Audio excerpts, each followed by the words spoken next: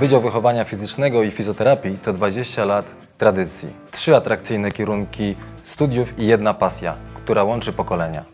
Jestem wicemistrzem świata i mistrzem Europy w piłce siatkowej. Gram na pozycji libero. Wiem, jak ważna jest obrona, również pracy magisterskiej. Po prostu ten dyplom się broni. Sami sprawdźcie. Piotr Gacek.